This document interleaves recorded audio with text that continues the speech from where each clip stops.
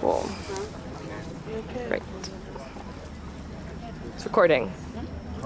it's Enigma. He's eight. Oh, I'm sorry. He's five. You're right. He's five.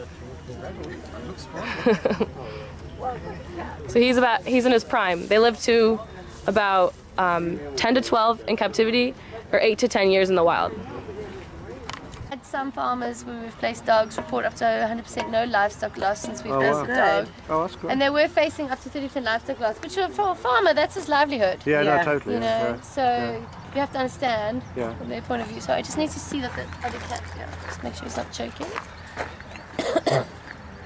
Yeah, it's sitting on stuff happily.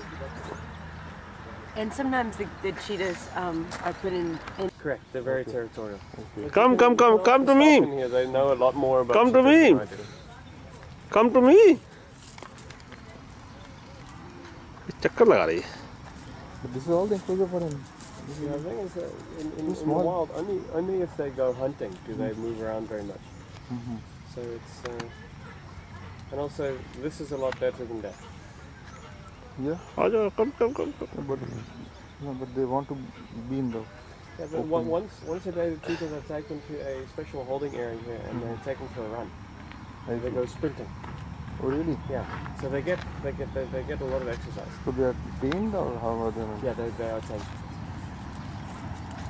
If you let them out, they will still. Environment. हमारे जैसे लोग इसको खा जाएंगे आ जाओ यहाँ आओ come here come here C big food come Anna! Die. Die. Die.